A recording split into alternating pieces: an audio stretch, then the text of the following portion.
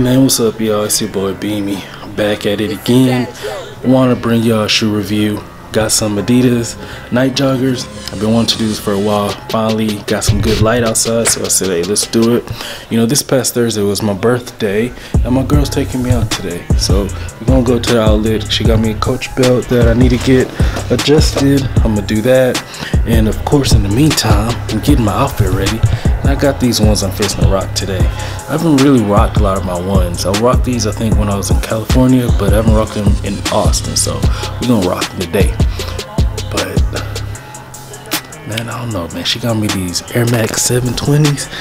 And I just, I can't tell you that I dig them. They, I don't know. I think, I think it requires a specific taste that I don't have. But we're gonna go to Nike outlet and we're gonna see what we can pick up. Hopefully they got another colorway or maybe just something different altogether.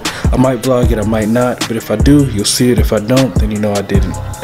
So let's get to the shoe review because I need to get ready so we can go because she got reservations somewhere and if I'm not ready, she gonna be on my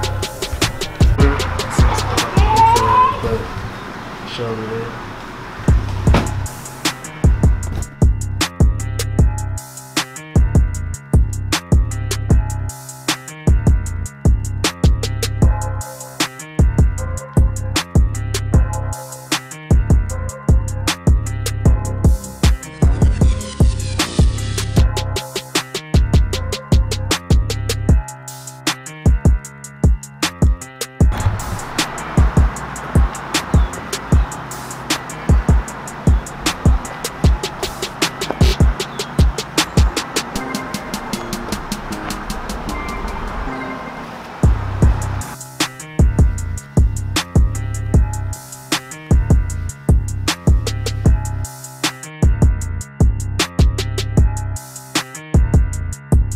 So I actually think the shoes are real comfortable, uh, more comfortable than I, what I initially thought. I think they actually look good with joggers and with shorts.